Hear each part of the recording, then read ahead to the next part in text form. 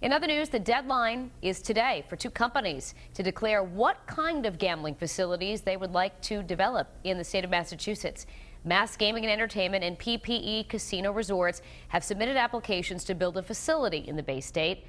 We understand both have until this afternoon to declare whether they're planning to build a resort casino or a slot parlor. The single available slot parlor license is expected to be granted this fall. The resort casino licenses are not going to be awarded until 2014.